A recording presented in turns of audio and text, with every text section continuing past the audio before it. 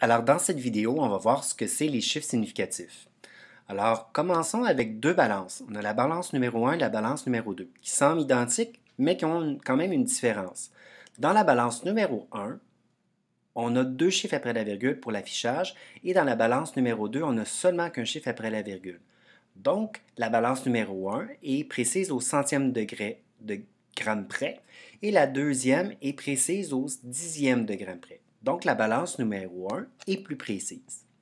Si on pèse le même bloc, alors exemple, on prend un bloc qui pèse 2,35 g avec la balance numéro 1 et 2,4 g avec la balance numéro 2 pour le même bloc.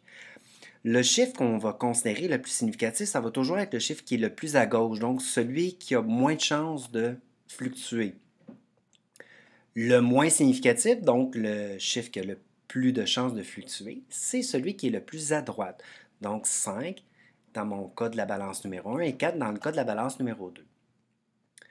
Maintenant, si on regarde l'ensemble des chiffres, c'est ce qu'on va appeler des chiffres significatifs. Donc 2,35, c'est un nombre qui possède trois chiffres significatifs. Alors que pour la balance numéro 2, on n'a que deux chiffres significatifs, le 2 et le 4. Les zéros à gauche ne comptent pas. Donc, exemple, si on avait un bloc de 0,30 g et 0,3 g, le 3 et le 0, le 0 qui est à droite, est un chiffre significatif puisqu'il me donne une précision par rapport à ma balance, mais le 0 qui est à gauche, ça ne donne pas une précision. Donc, on ne compte pas les zéros à gauche. Alors, on dit qu'un chiffre est significatif s'il est nécessaire pour définir une valeur spécifique. Le nombre de chiffres significatifs détermine la précision de la mesure. Il s'agit des chiffres connus avec certitude plus le premier chiffre incertain. Le chiffre le plus significatif est le premier chiffre d'un nombre si celui est différent de zéro, donc c'est ce qu'on a dit tantôt, les zéros à gauche ne comptent pas. Donc, dans 1977, le nombre de chiffres significatifs est de 4, le 1, le 9, le 7, le 7. Le premier chiffre incertain c'est le 7, donc le moins significatif, et le plus significatif, c'est 1.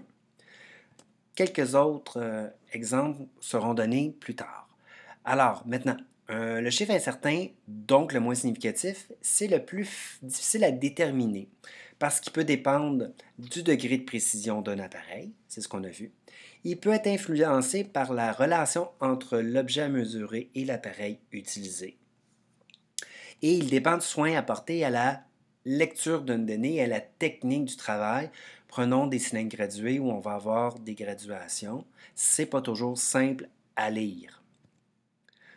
Quelques autres exemples. 0,0750. Alors, on a trois chiffres significatifs, soit le 7, le 5 et le 0. Les deux zéros à gauche ne comptent pas. 4,5 fois 10 à la 3. Le 4,5 c'est ce qui va être des chiffres significatifs, donc 2. Le fois de ça à la 3, c'est la notation scientifique. Il ne faut donc pas penser à le mettre en notation normale. Exemple, écrire 4500 et dire qu'on a 4 chiffres significatifs, parce que ça veut dire qu'on va rajouter des zéros, ce qu'on n'a pas dans notre écriture de la valeur.